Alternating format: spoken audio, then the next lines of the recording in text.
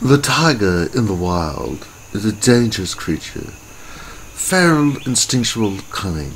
But here in the land of tactical monsters, the tiger is not only a master of safety, but a master in taekwondo.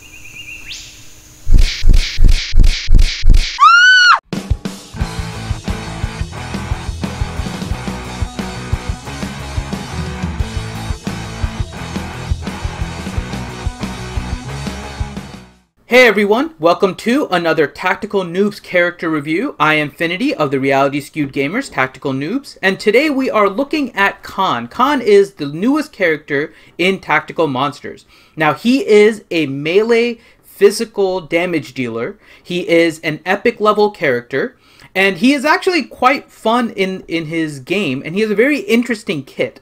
Um, so let's start off by going through his kit, and then we'll do a little bit of analysis on him and where we think he might be able to fit in.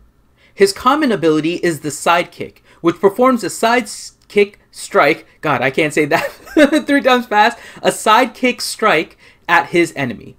Pretty simple, straightforward, basic, no bells and whistles to it, but it helps to lead up to the rest of his abilities. Now let's take a look at his passive, Lurking Predator.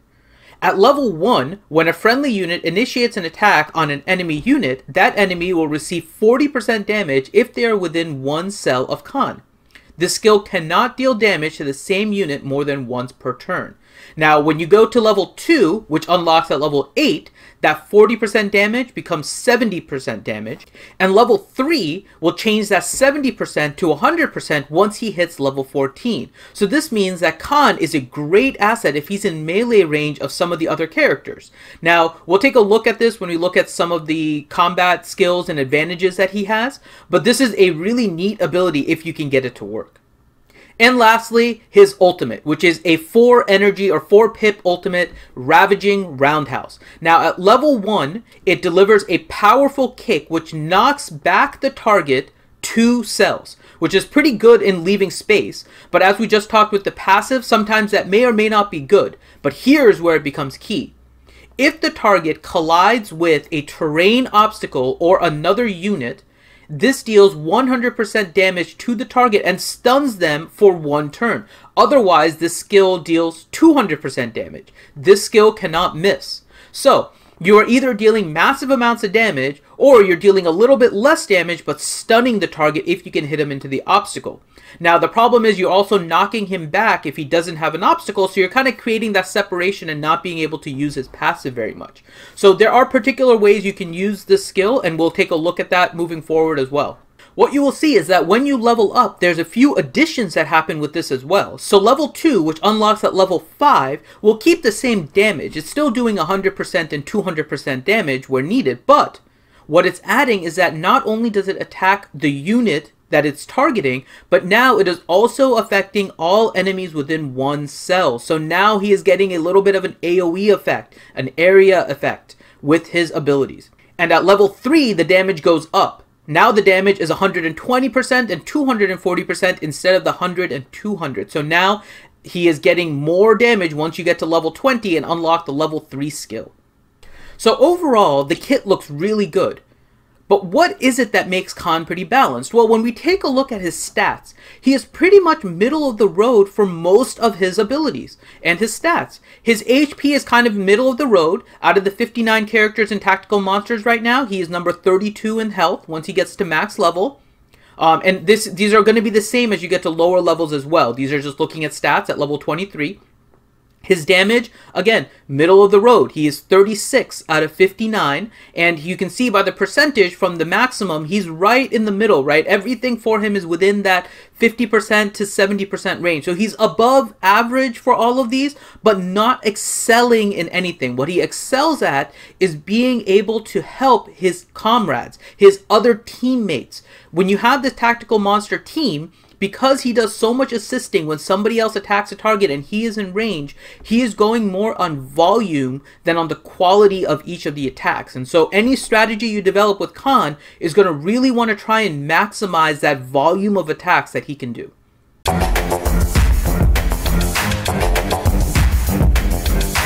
So we did some Rumble matches in order to figure out who does Khan really synergize with. And there were two in particular that seemed to be really good with Khan and those two are Missy and Mr. P. Now, the reasons are kind of because of the way you want to play Khan. Uh, Missy will provide a shield for Khan, which allows for his survivability. You need him to stay in melee range in order to increase the damage that's received by the characters within one cell of him. And then, similarly, Mr. P is a very durable ranged attacker with a lot of damage associated with him. And so, if you keep the combination of Khan in the melee and you keep Missy protecting him from ranged and Mr. P attacking from a range, you kind of get a nice little trio going that's able to do a lot of damage if you can get Khan into range.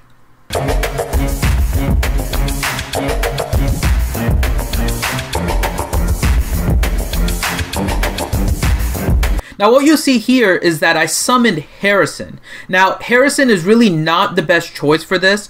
Uh, I threw him in there in order to try and see if the damage output would really be increased by somebody like a Harrison or a Sanka. But what I found out was Harrison is probably not the best one to sync with this. If you are looking for a common monster in order to synergize with Khan, the best one is probably Colonel Baba, and that's because he will allow for the decrease of damage received by Khan. He's also another melee, so he can take some of the heat off of Khan when he runs into melee range. And so you're allowing it for a little bit of extra uh, protection for Khan, so he can stay in melee range and Mr. P can go to town with his ranged attacks.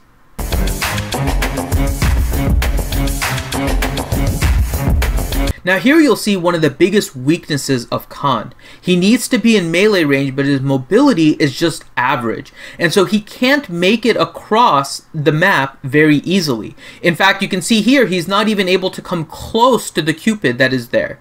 And so because of that, Khan is going to need at least two turns in order to get into melee range of any attack in a map similar to this. Now this one does have some obstacles, but the obstacles are in the middle which is a potential weakness for Khan as well.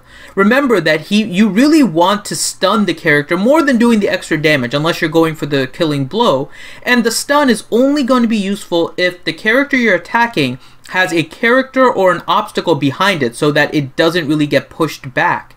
And so finding a map like that can be difficult.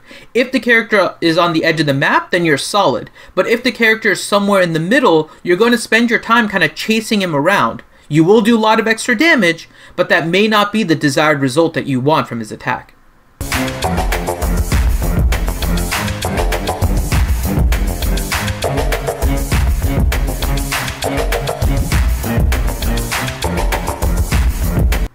Now here you see his biggest strength, his ability to assist when somebody else attacks. This is the damage dealing aspect of Khan. His stats may be just mid-road, but if you equip him with a team that is able to deal lots of damage, Khan is able to go to town and assist and do a lot of extra damage for you.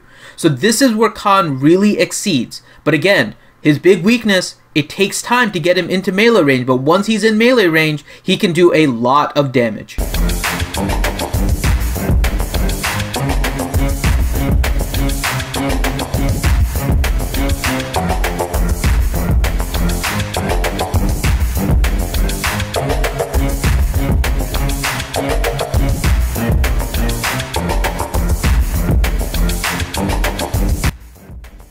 And there you have it, our review of Khan, the newest monster in Tactical Monsters. Let us know if you found any monsters that synergize with Khan as well in the comments of our YouTube video. We hope you enjoyed this latest character review, and we'll see you next time. Khan!